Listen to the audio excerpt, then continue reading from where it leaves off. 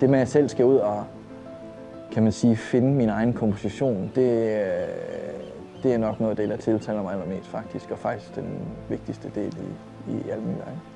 Øh, og skitsetegningerne bliver så lidt bygget op i de fotos, jeg tager, hvor jeg sammensætter bygninger og trækker nogle linjer ud. Det kan være fire forskellige bygninger, der faktisk bliver til et værk, hvor jeg tager linjer ud øh, af forskellige kompositioner. Det kan også være lys og skygge øh, eller arkitektur.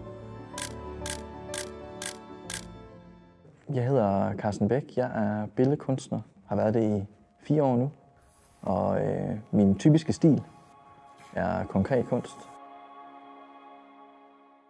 Jamen, det startede egentlig med, at jeg lavede en noget grafisk i og med, at jeg fik en uddannelse inden for, inden for web, og så synes jeg faktisk, det var fedt at lave grafisk tryk. Jeg tog faktisk det øh, med hensyn til grafisk tryk og lavede faktisk nogle kan man sige, plakater, nogle, nogle tryk ved siden af, øh, som så kom ud senere hen i forskellige øh, designbutikker rundt om i Europa og faktisk også øh, ud over Europa.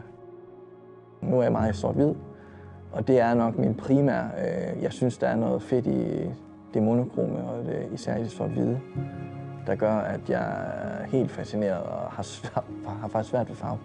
Øh, det kommer nok, men øh, lige nu der synes jeg, at det sort-hvide og den måde, man kan udfordre det på, er vildt fantastisk. Jeg tror, min største drøm, det er nok, og det, det, det lyder måske lidt, øh, det kan godt lyde underligt, men det er at, at have mig selv med, faktisk. Øh, for man kan hurtigt miste lidt øh, sig selv i det, at øh, man måske glemmer lidt tid og sted, men det er da helt klart at komme til nogle store museer i udlandet og blive ved med at sætte sit aftryk i den måde, man bygger sig selv op, men også kompositioner.